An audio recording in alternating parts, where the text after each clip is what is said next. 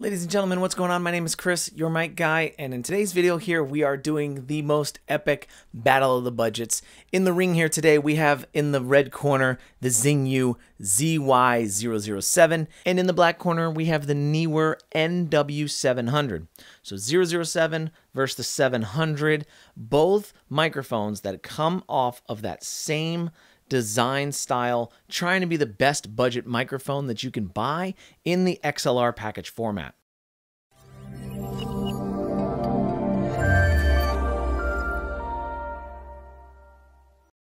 These both came with a boom arm, shock mount, XLR cable, and a pop filter in their kits. The only additional pieces that the Zingyou did come with a USB sound card and an XLR to 3.5 millimeter cable if you wanted to try to hook it up that way. Something unique, something different. Didn't really use it, but just something that I thought was kind of cool that they tried to get it to where even if you didn't have an interface, you'd have an opportunity to use the microphone. So, with that, um, again, this was this is going to be just a side by side review, listening to each microphone one at a time here, going back and forth. I'm not really jumping up and down, not really expecting a huge amount of quality here, but I wanted to see something putting these two together and trying to identify price wise what you're really getting. Now in the video here today, I'm going to list the current prices if you were to buy these on Amazon, because I think that's really the main place you get these kits for these microphones. I don't think you find them in, you know, most stores or anything like that. So um, it'll just be a way to tell which microphone is a better buy.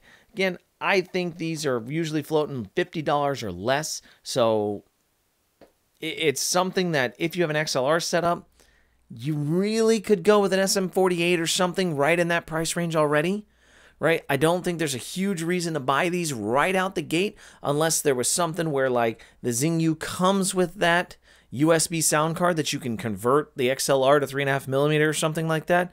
Uh, it's one of those odd things, but something cool to check out. Anyways, I was requested to do the 007 700 side by side and I, really really just wanted to meet the demand here it's one of those like I appreciate that I have them both, but it's one of those like I don't really like comparing them. They're not my favorite microphones to do.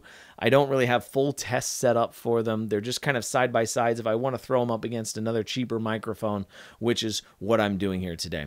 So, anyways, guys, just take a listen to the sounds.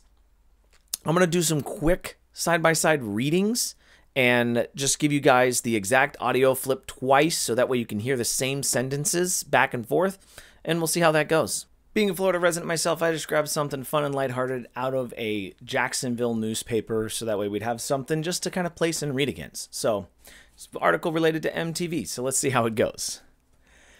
MTV is marking its 40th anniversary with a relaunch of its iconic image of an astronaut on the moon with an MTV flag planted nearby. MTV is marking its 40th anniversary with a relaunch of its iconic image of an astronaut on the moon with an MTV flag planted nearby. On Sunday, the media network unveiled a large scale moon person during a ceremony at NASA's Kennedy Space Center in Cape Canaveral, Florida. On Sunday, the media network unveiled a large scale moon person during a ceremony at NASA's Kennedy Space Center in Cape Canaveral, Florida.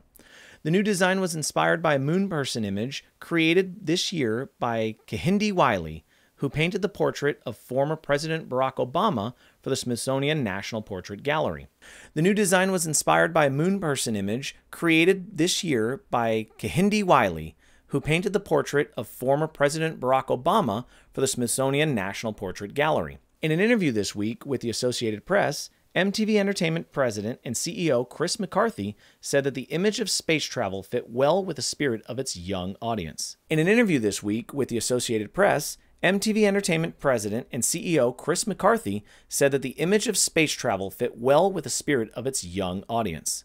This is our third generation that we're reinventing for.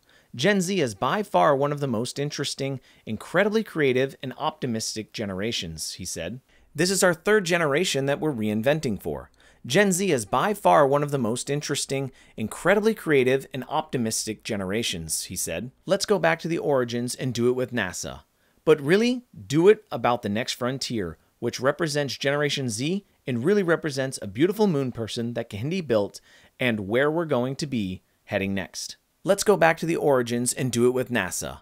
But really, do it about the next frontier, which represents Generation Z and really represents a beautiful moon person that Kehinde built and where we're going to be heading next.